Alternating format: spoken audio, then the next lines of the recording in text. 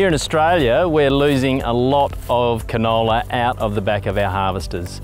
And in Western Australia alone, I've estimated that we're losing $90 million a year worth of canola. That equates to about $70 per hectare over our 1.2 million hectare crop. This canola grain, or any grain that's left on the ground after harvest, is your profit. And in some cases, it might be all of your profit. Canola is a high value crop it might be twice the value of wheat and we're losing more canola than we are wheat out of the back of a harvester. So we're losing a lot of a high value crop. So we need to measure it.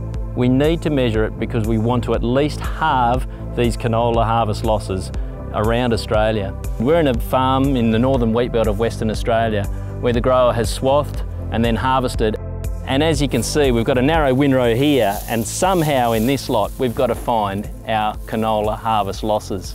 It's like finding a needle in a haystack. We're looking for a very small seed in a large amount of material.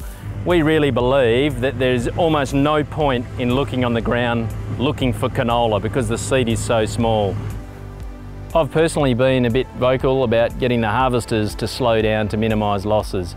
And that's one lever that we can pull, but that's the last resort. We really want to maintain capacity and keep the losses at an acceptable level so what is acceptable loss? Well, 1% is the internationally accepted figure. We want to be below 1% for most crops, cereal crops.